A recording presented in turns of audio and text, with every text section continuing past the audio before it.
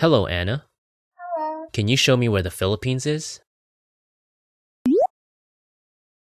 How about oh. Algeria? How about Colombia? Anna, do you know the best way to help victims of natural disasters around the world? The CIDI recommends that cash donations are the best way of providing relief to disaster stricken countries.